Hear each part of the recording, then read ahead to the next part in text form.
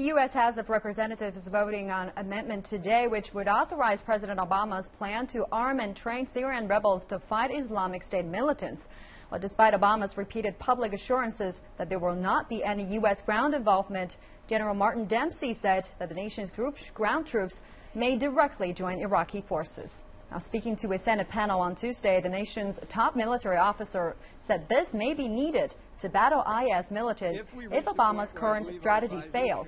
He revealed that the U.S. commanders have already sought permission to deploy small teams of U.S. advisors into battle with Iraqi troops. Dempsey also suggested that while Obama has held firm, he might be persuaded to change his mind. But after Dempsey finished his testimony, the White House reiterated that the president will not send ground forces into combat. In Obama's plan, U.S. will equip and train Syrian anti-government forces with a budget of 500 million U.S. dollars.